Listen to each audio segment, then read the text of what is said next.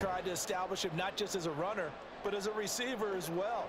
Didn't happen there, but I wouldn't be surprised at all to see them try again shortly.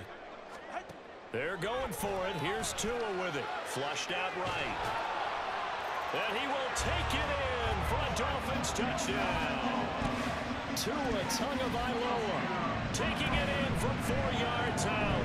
And the Dolphins' decision to go for it pays off with six points.